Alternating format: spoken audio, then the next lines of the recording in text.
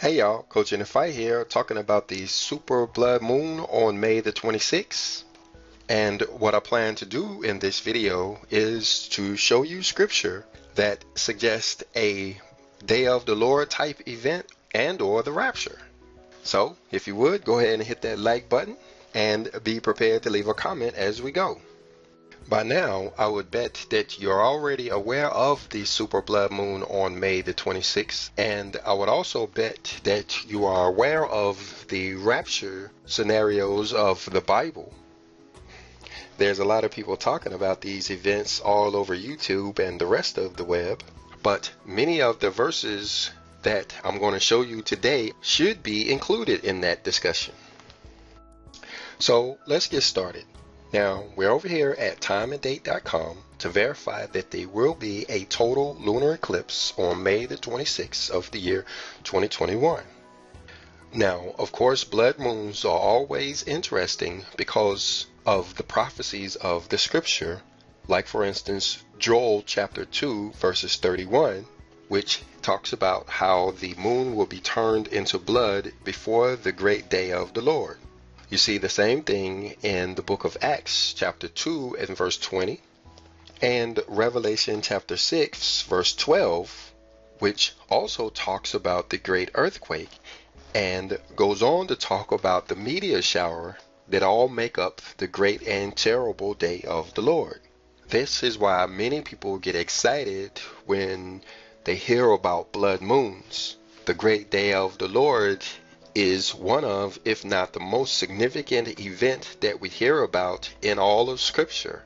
And every time we hear about this day, it's always tied to the moon being the color of blood. But let me show you something very interesting about the date, May 26, 2021. If we come in and we subtract 1,260 days, we end up on December the 13th, 2017.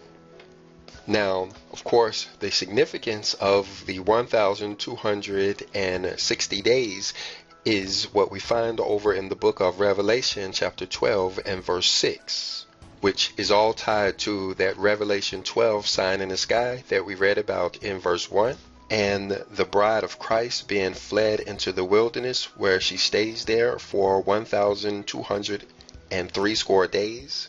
Now, of course, the Revelation 12 sign happened on September the 23rd, 2017. And many people started the clock on the 1,260 days on that date. And the reason why is its relationship to Rosh Hashanah in 2017. But when you look closely at the dates of Rosh Hashanah, you see that they occurred before the Revelation 12 sign in the sky. So it is not a direct relationship. That sign, as significant as it was, actually didn't fall on a feast day at all. It fell after the feast day. So, what's the significance of December the 13th, 2017? That's actually the first day of Hanukkah in the year 2017. Notice how Google is telling us that it started on the evening of the 12th of December well, that makes December the 13th the first full day of Hanukkah. So there are exactly 1,260 days from the first day of Hanukkah, December the 13th, 2017, to May 26, 2021. Now, I know what some of you guys are thinking. Hanukkah is a minor festival not included in the book of Leviticus chapter 23 with the other feast of the Lord. So, should the coincidence that there are exactly 1,260 days from the first day of Hanukkah to the date of Passover be considered significant enough to be included in this conversation?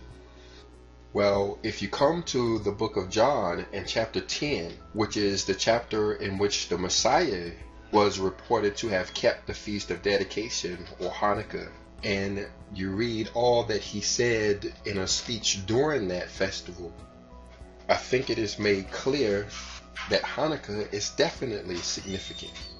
And when you consider the X across America, that solar eclipse that started in 2017 and ends in the year 2024, when you do the math on this, you see that there are 2,422 days between the eclipse in 2017 and the eclipse in 2024 and you look at the exact halfway point between those two eclipses, you see it lands on December the 14th of the year 2020. You see that that date falls in the week of Hanukkah.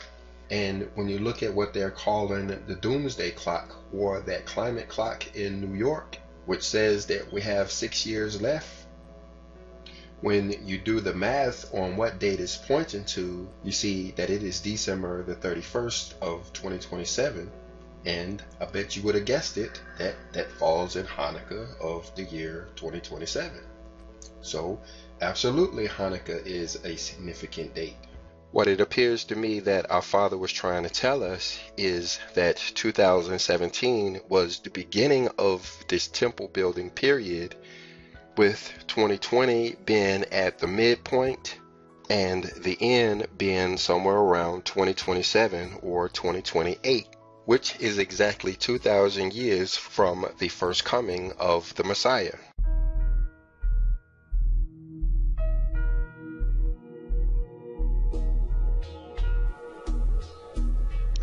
Okay, so now you should be wondering what is the significance of May 26, 2021?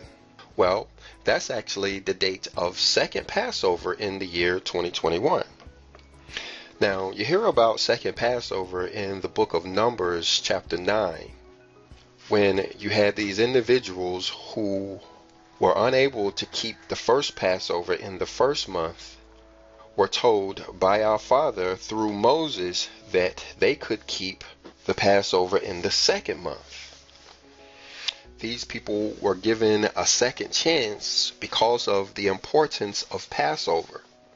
And you see the application of this ordinance in Second Chronicles chapter 30 when King Hezekiah, who had just found out about the law, commanded all of Jerusalem to keep the Passover in the second month because they had missed it in the first month. But let's come back to that. And let me show you something significant about the year 2021. Now, we're looking in the book of Daniel, chapter 12, which also seems to be pointing to events around the day of the Lord. And when we look down here at verses 11 through 13 of Daniel chapter 12, we see that he gave us the timing of a promised blessing. Now, we've covered this several times in many videos, so really briefly, let me walk you through this and show you how this points to the year 2021. You see in verse 11 where he says that the abomination that maketh desolate would be set up 1290 days after the daily sacrifice was taken away. And when we come back to chapter 1 of the book of Daniel, we can see when all of that went down and that was during the third year of the reign of King Jehoiakim. And based on the information that we get from the scripture in regards to the dates of the progenitors and the kings, we see that Jehoiakim became the king in 608 BC. So the third year of his reign would have been 605 BC. So if we do the math on that, adding 1,290 days from 605 BC, remembering to add one year because there was no year zero, we end up in the year 686 for the year of the abomination of desolation to be set up. This would be the same abomination of desolation that the Messiah talked about in Matthew chapter 24, verse 15. See how it's saying that this abomination of desolation will stand in the holy place? Now, of course, the holy place is the Temple Mount in Jerusalem. So when you look at what occurred on the Temple Mount in Jerusalem in 686 AD, you find that that's when they completed the Dome on the Rock. It was constructed on the exact same spot that Solomon's temple stood. That's why there's so much turmoil over there in Jerusalem right now. Well, when you come back to Daniel in chapter 12, you see that this turmoil could actually get ramped up a little bit when you look at verse 12, depending on how you define the word blessing. What it's telling us is that 1,335 days after the abomination of desolation, we should receive some kind of blessing. Now, I'm not sure what Daniel means by blessing, but when I add 1,335 years from 686, we end up in the year 2021. So, could Daniel, John, and this blood moon all be pointing to something significant to occur on May 26, 2021? Well, we've already established that May 26, 2021 is second Passover for the year 2021. So let's go into the scripture and let's take a closer look at second Passover. Now, like we talked about earlier, the one time that we hear about somebody keeping the feast of Passover in the second month is in Second Chronicles chapter 30 with King Hezekiah he commanded all of Jerusalem to keep the Passover in the second month because they wasn't aware of the law in the first month. And when he understood Numbers chapter 9, he took advantage of it and had all of Jerusalem to keep the Passover in the second month. But one thing that's truly interesting about how Hezekiah kept the Passover in the second month is that he not only commanded all of Jerusalem to keep the Passover in the second month, but he invited all of Israel, the other 10 tribes, to come to Jerusalem and keep the Passover with him. In other words, all of Israel, for the first time since the days of Solomon, were unified and kept the feast days together there in Jerusalem. Now, of course, this living parable is significant in our times because the Jews that were in Jerusalem would represent spiritual Israel of today, those people who are obeying the covenant of the Lord, and the other 10 tribes of Israel would represent those who loved the Lord but wasn't necessarily keeping the commandments and would be represented by the Gentile church today. So this unification of Israel and Judah would be symbolic of the unification of spiritual Israel and Christians today. And the fact that it happened on second Passover makes it extremely significant. This reunification of all of the children of the Most High reminds me of the regathering that we hear about in Matthew and chapter 24 and verse 31. See where it says, He will gather the elect from the four winds, from one end of heaven to the other? Well, when you look in the Septuagint translation of the book of Jeremiah in chapter 31 and verse 8, you see that this gathering will take place at the feast of Passover. It seems to be saying the same thing that we read about over there in the book of Matthew when it's talking about regathering the remnant of Israel and Jacob from the ends of the earth. But notice that this gathering that he talks about is to the feast of Passover. And when we look in the book of Second Esdras, in chapter 2 and verse 38, we see that it's also talking about the feast of the Lord, which would include Passover, but this time it's talking about those that will be sealed during the feast of the Lord. And notice how in verse 39 it's talking about how they receive these glorious garments of the Lord. And verse 40 also talks about these garments when it says, Shut up those of thine that are clothed in white. And when we come to the book of Revelation, chapter 7 and verse 14, we also hear about these white garments. And here we hear that they are made white in the blood of the Lamb. And of course, it's talking about the 144,000 and the multitude that no man can number. Well, if we jump to Revelation chapter 12, we hear about those same people and we also hear about this blood of the Lamb that made their garments white. And when we look at the entire chapter 7, we see that it's talking about the sealing of the 144,000. Well, that's what Second Esdras was talking about, the sealing at the Lord's feast, and Jeremiah was talking about the gathering to the feast of Passover. Now, we talked about Revelation chapter 12 earlier when we were talking about the 1,290 days. Well, notice in verse 11 that it's also talking about the blood of the Lamb. And it was through that blood of the Lamb that they overcame the wrath that you hear about in verse 12. Now, is this the great wrath that we hear about, the great day of the Lord? Well, looking back over at Matthew chapter 24, where we were hearing about the elect being gathered from the four winds in verse 31, well, if you look back in verse 29, you see that it's talking about the great and terrible day of the Lord when it's talking about the sun being darkened and the moon not giving her light. So there's definitely a connection between the regathering and the day of wrath and when we come over and look at the book of Romans in chapter 5 and verse 9, we see that we are to be saved from his wrath by his blood.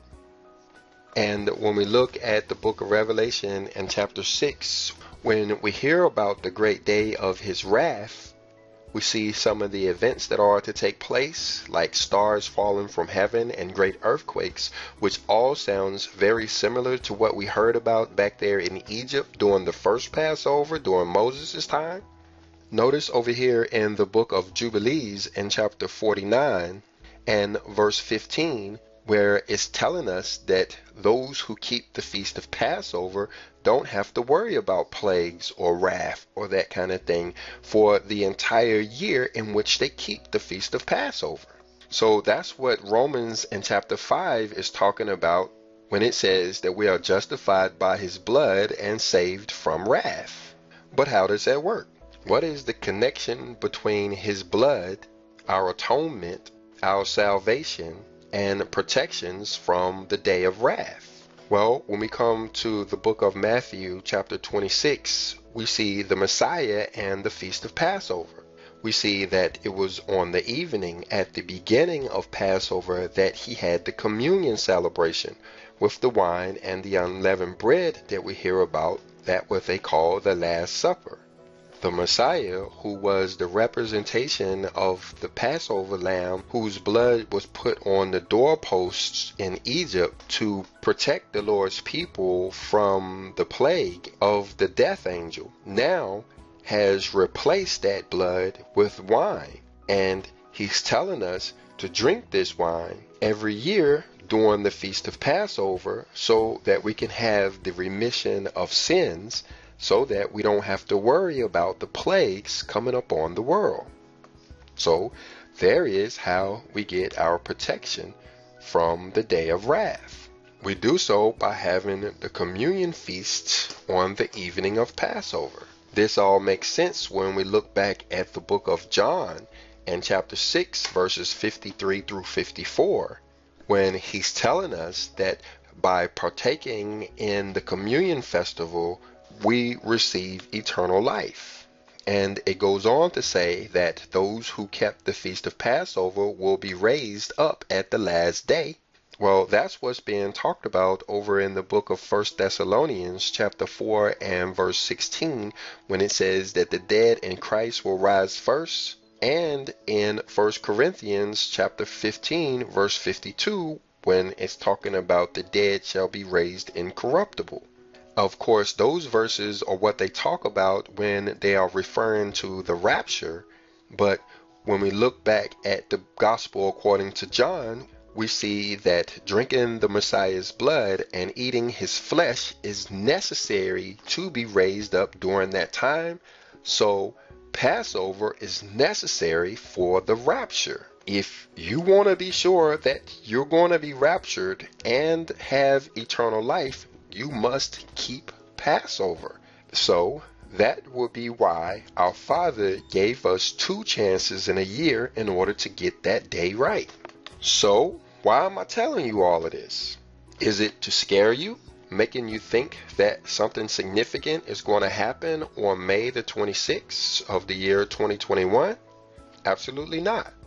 The purpose of this video is to bring your attention to Second Passover and the importance of having the Communion Festival on that day. I'm not sure if anything is going to happen on May the 26th of the year 2021, but I'm absolutely sure that if you want eternal life and or want to be raptured, you're going to have to keep the feast of Passover.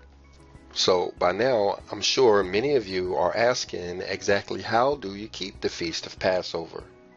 And another question you should be asking is when do you keep the feast of Passover?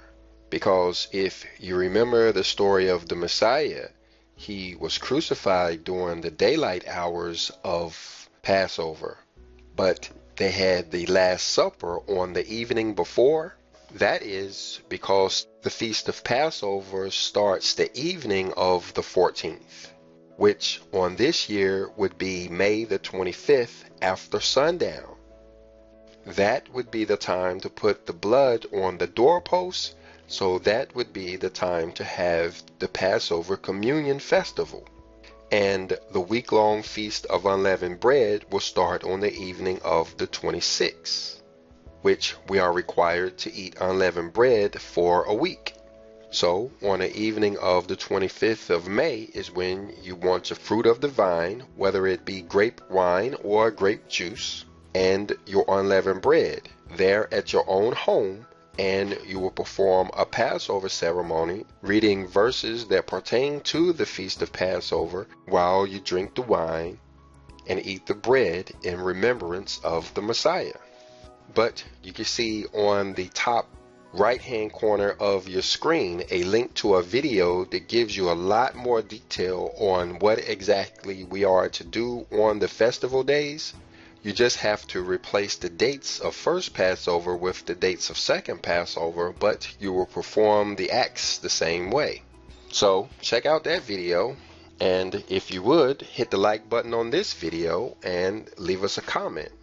Make sure you have that subscription button pushed and the bell notification button selected so that you can get future videos that we'll put out between now and the Feast of Passover as it is the focus of our channel to produce videos focusing on the dates and the specifics of the feast days. And with that, I'm going to say shalom.